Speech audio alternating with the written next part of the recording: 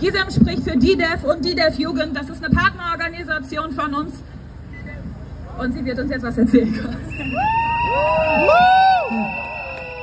Hallo, genau, ich bin die Gisem von der DIDEF und DIDEF Jugend. Liebe Freundinnen und Freunde, auch dieses Jahr am 8. März, am Internationalen Frauenkampftag, sind wir auf den Straßen und Plätzen. Denn seit nun fast einem Jahr leiden wir unter den Folgen des Angriffskrieges auf die Ukraine und noch länger schon unter der heftigen Krise und Inflation, die von Tag zu Tag immer mehr unsere Existenz bedroht. Mit mickrigen Einmalhilfen versuchen wir uns seit Monaten über Wasser zu halten und warten in vielen Bereichen vergeblich auf einen Inflationsausgleich, während von einer Nacht auf die andere 100 Milliarden Euro in Form eines Sondervermögens für die Bundeswehr locker gemacht werden können und gleich darauf die nächsten 300 Milliarden diskutiert werden.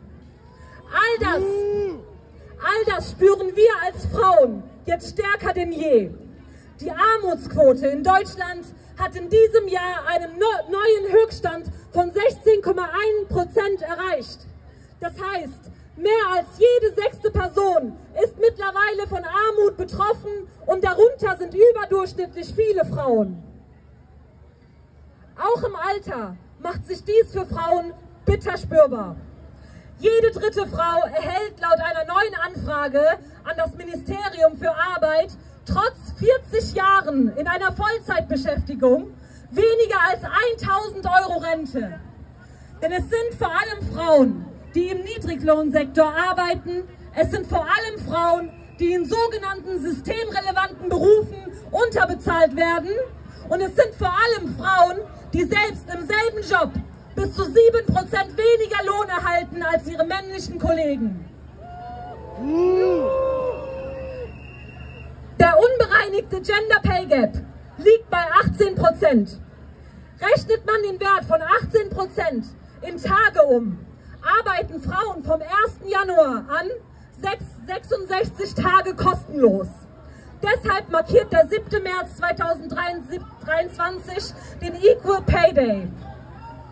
Dass unter diesen Bedingungen nun im dritten Jahr in Folge darauf noch ein Reallohnverlust einfach nicht mehr, nicht mehr stemmbar ist, machen aktuell die vielen Frauen, die im öffentlichen Dienst beschäftigt sind, deutlich. Bundesweit sind sie am Frauenkampftag im, im Warnstreik, um ihre Forderungen nach 10,5 Prozent mehr Lohn laut zu machen. Und diesem Kampf gilt unsere volle Solidarität und Unterstützung. Egal ob als Beschäftigte in der Pflege, im Sozialen oder aber auch in der Fabrik. Wir können uns unser Leben einfach nicht mehr leisten. Hinzu kommt für viele Frauen, dass sie neben dem Job zu Hause obendrein noch die Sorgearbeit allein bewältigen müssen.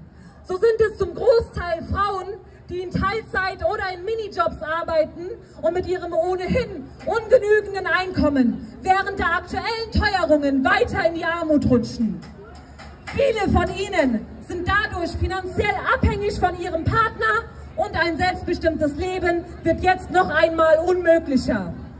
Mit der immer weiter steigenden Abhängigkeit wird auch der Schutz vor Gewalt schwerer. Wer die Partnerschaft nicht einfach verlassen kann, hat bei dem Mangel an Schutzräumen und Beratungsmöglichkeiten nun einmal nicht einfach so die Chance, vor häuslicher Gewalt zu fliehen. Seit der Pandemie sind steigende Zahlen von Gewalt an Frauen die schreckliche Folgen dessen. Über 114.000 Frauen wurden im vergangenen Jahr in Deutschland Opfer von häuslicher Gewalt wobei die Dunkelziffer leider noch viel höher ist. Wir sehen, dass Gewalt ein Strukturproblem ist, denn jede einzelne von Gewalt betroffene Frau ist eine zu viel.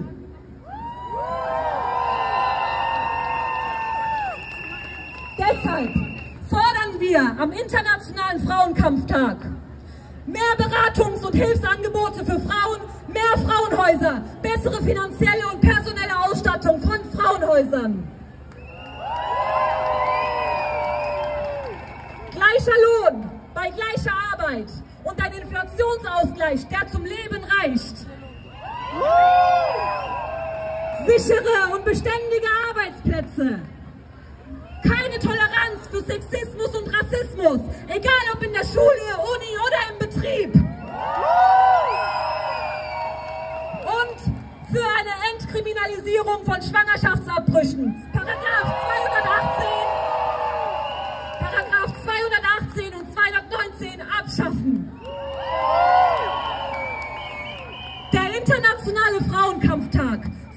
heute die Notwendigkeit, umso mehr unsere Kräfte zu bündeln und gemeinsam auf die Straßen zu gehen. Solidarität ist unsere größte Stärke. Wir stehen solidarisch mit den Frauen im Iran, die um ihre körperliche Selbstbestimmung kämpfen. Wir stehen,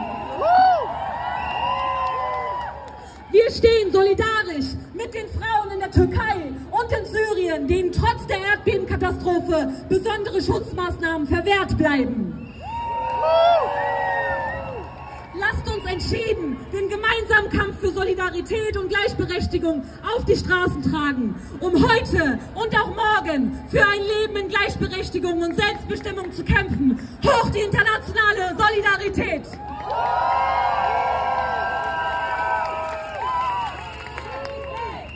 Hoch die internationale Solidarität! Hoch die internationale Solidarität! Hoch die internationale Solidarität! Hoch die internationale Solidarität!